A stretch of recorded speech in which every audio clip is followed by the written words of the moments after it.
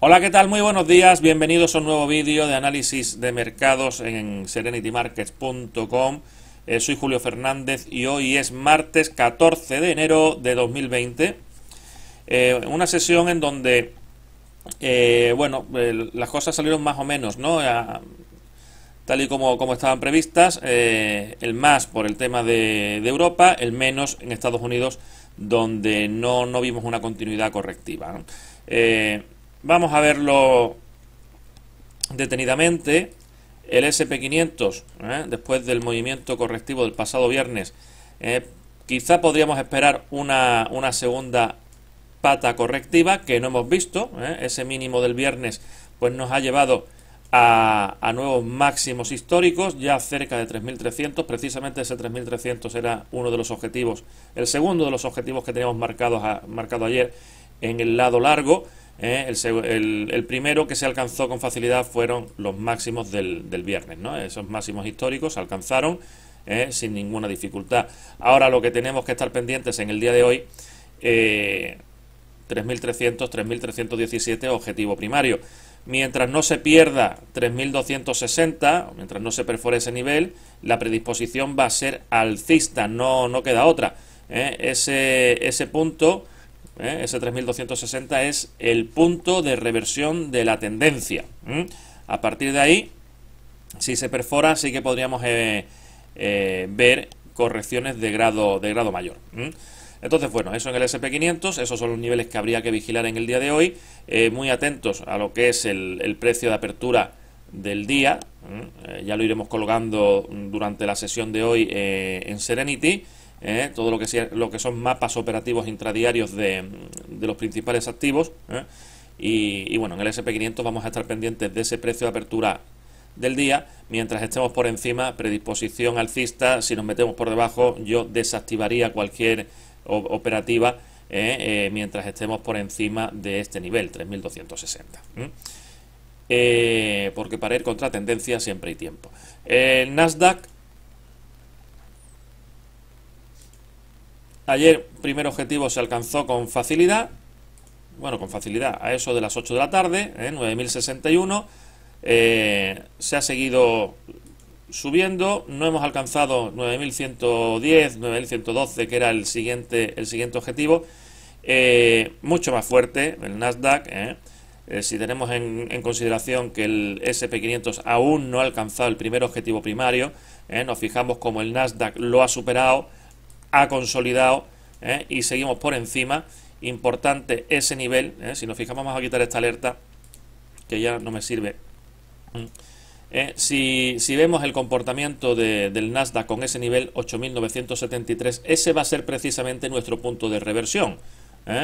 A nivel técnico, por acción del precio puro y duro, ese punto de reversión estaría aquí en esta zona, 8.950, pero dada la importancia de ese nivel, si el precio se viene para abajo y rompe esa, esa zona, ¿eh? hace un mínimo decreciente, pues muy, muy probablemente tendríamos que dar por finalizado este tramito eh, al alza, ¿no? O por lo menos ver una corrección de grado mayor, ¿eh? porque de momento, de momento, aquí la única corrección que ha habido desde el mínimo del pasado día, día 8,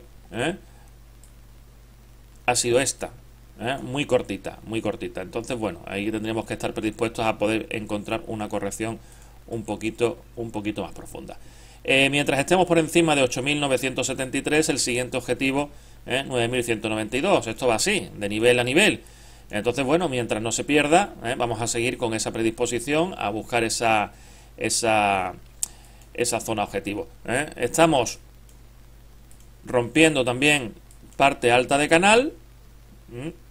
Vamos a ver si consolidamos, ¿eh? si hacemos test y, tiramos para arriba. Eh, lo, mismo que hemos comentado en el SP500, aunque eh, el punto de reversión lo tengamos aquí, lo ahora mismo estamos 100 puntos prácticamente por encima, vamos a estar muy pendientes del precio de apertura del día. Mientras estemos por debajo, pues podemos esperar una corrección en gráfico intradiario, una corrección que no va a dejar de ser menor, y si recuperamos ese precio de apertura o si, estamos por encima, entonces sí que podríamos buscar predisposición alcista. Eh, para hacernos una idea, el precio de apertura hoy lo vamos a encontrar, si no me equivoco, en la zona de 9.090. ¿De acuerdo? Bien, en Europa el DAX, aquí sí que la corrección tuvo continuidad, era lo que estábamos buscando. nos faltaron 5 puntillos para completar el mapa ideal. ¿eh? pero, bueno, mapa ideal, mapa ideal por source, pero eh, por Fibos ya comentábamos, ¿no? De que se podía girar justo en ese punto que se ha girado, ¿eh? donde la A se igualaba con la C, y aún así nos faltaban 5 puntillos para alcanzar un nivel que teníamos ahí, ahí previsto, ¿no? la pregunta es la siguiente. ¿Ha terminado aquí la... ha concluido la corrección? Puede ser, puede ser. Tenemos una, estructura eh, de tres patas, ABC, pero la corrección se antoja cortita. No hemos llegado al 38,2%, pero bueno, eso tampoco debe ser un impedimento, ¿eh? no es lo normal, ¿eh? pero sí que a menudo cuando la onda 3 es fuerte, es fuerte, mm, no es raro encontrar una onda 4 que no alcance el 38, que se quede en el 23 y a partir de ahí para arriba. ¿no? Aquí vamos a tener un, además el, DAX es el activo que analizamos hoy en portada. Para más información de niveles ¿eh? De grado intermedio, pues, pues eh, va a estar publicado en, eh, en alerta activada. en minutos. Vamos a, a modificar esta alerta. Y ahora explicaremos lo que le pasa al IBEX. El primer, el primer filtro que deberíamos utilizar en el DAX es el 13.500. El precio, eh, no, perdón, no precio de apertura, no, SOR, eh, anual. ¿eh? ¿Vale? A partir de ahí, si empezamos a ver cierres, cierres en una hora por encima, sí que podríamos casi, casi asignar más probabilidades, casi, casi no, se asignarían más probabilidades a la continuidad alcista. ¿Vale? En este momento el precio ha llegado a lo que sería el precio de apertura semanal y ahí está rebotando. ¿eh? Eh, esta zona de aquí, pues eh, a nivel operativo ofrece poca probabilidad. De hecho, podríamos perder momentáneamente el precio de apertura semanal y mientras no se pierda este mínimo de ayer, la estructura pues puede seguir siendo válida, es alcista. Si se pierde este nivel, mucho ojo que nos podríamos venir a la media de 200 en gráfico horario, ¿eh? si se pierde el mínimo de ayer. ¿eh? Y dejaríamos ahí un poquito en stand-by lo que sería esa estructura alcista que estamos buscando. ¿eh? como digo, buscar confirmaciones por encima de 13.500. En el IBEX, ¿por qué me está saltando la alerta aquí en directo? Pues porque el precio vuelve a la apertura anual. Es un índice con menos fortaleza, eh, está desplegando ahí un movimiento que no sabemos muy bien qué es lo que es, ¿eh? pero con eje central, eje de simetría en ese precio de apertura anual. Bueno, aquí perfectamente podría ser esa, esta estructura, una corrección en ABC y a partir de aquí impulso, impulso, puede ser esto una onda 1, puede ser una onda 3, ¿eh?